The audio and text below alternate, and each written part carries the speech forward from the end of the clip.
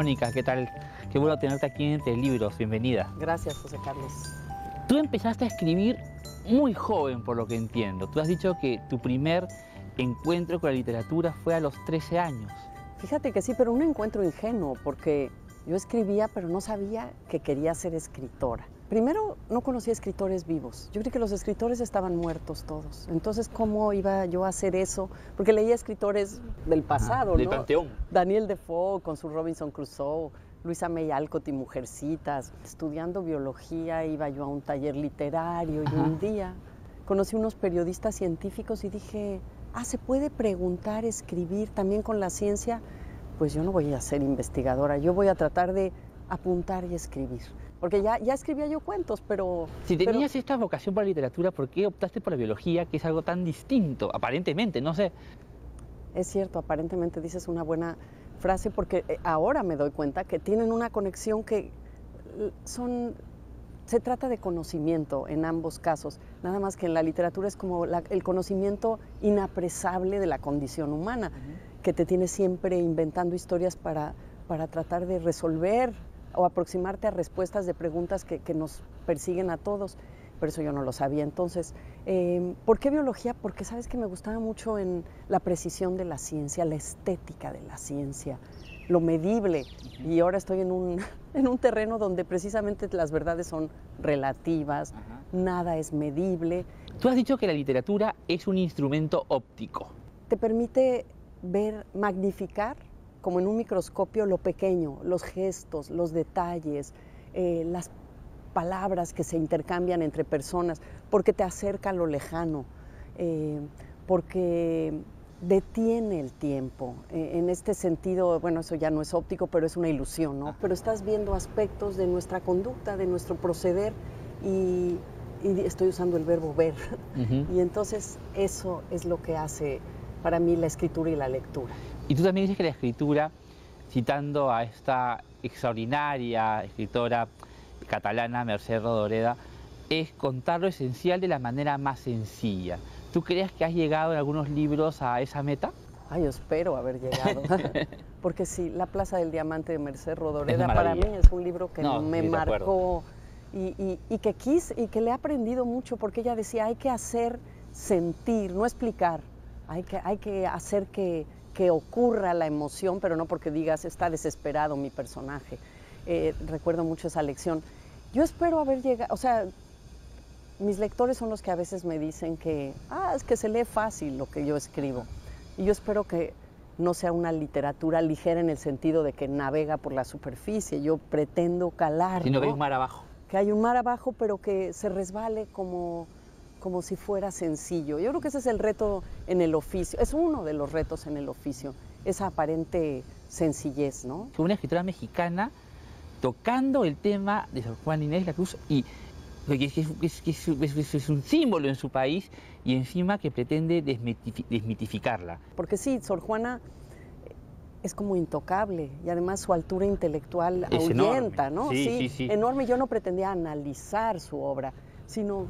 tratar Además, de Octavio verla. Paz ya lo había hecho en Las Trampas de la Fe, que es un libro extraordinario, ¿no? Y que a, a mí me fue muy útil, fue una lectura eh, necesarísima y quizás la que me hizo desear eh, ver a esta persona, a esta mujer como persona, como eh, perteneciente también a una familia, a eh, esta, una criolla de de- en una parte cercana a la Ciudad de México, en un tiempo fascinante que fue el siglo XVII. Fui agarrando confianza conforme conforme encontré la, manera de llegarle a ella, que era a través de las mujeres posibles y reales que, que estuvieron a su alrededor.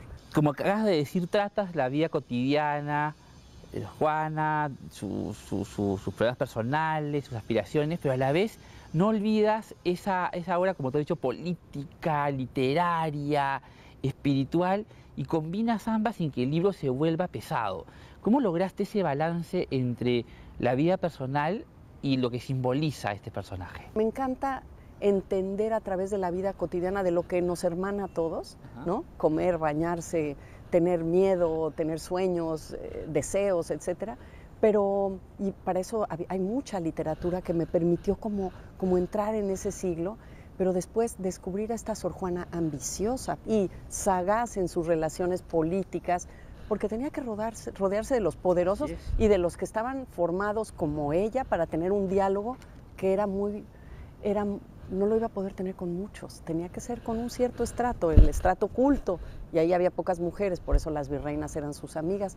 Eh, yo creo que quizás haber en, en este afán por comprender a Sor Juana, entendido el juego que ella tenía que jugar o entenderlo a mi manera, es lo que me dio eh, esta posibilidad de caminar en los terrenos eh, en que ella anduvo y además uno de los obispos, el que la protegió, pero que después eh, le escribió la, la, famosa carta a Sor Filotea, afirmando como Sor Filotea, me dio el permiso de que era otra mujer, ¿no? Era un hombre disfrazado de mujer, que con eso yo podía utilizar esta relación ambigua que había tenido con, con el obispo de Puebla. Cayó en mis manos hace unos años un libro para adolescentes llamado La más faulera.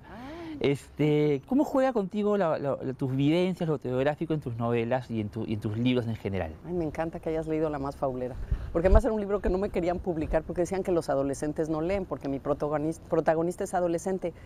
Ahí sí, en La más faulera, yo confieso que yo era la más faulera, que yo había jugado básquetbol y en ese libro quizás utilice, y hay una anécdota personal que me provocó la escritura de ese libro. Pero es una anécdota que había pasado hace mucho que yo no sabía que algún día se iba a volver material literario y que de repente dije voy a hacer un cuento. Y el cuento se transformó a esta novela o noveleta o relato largo eh, y luego inventé lo demás, ¿no?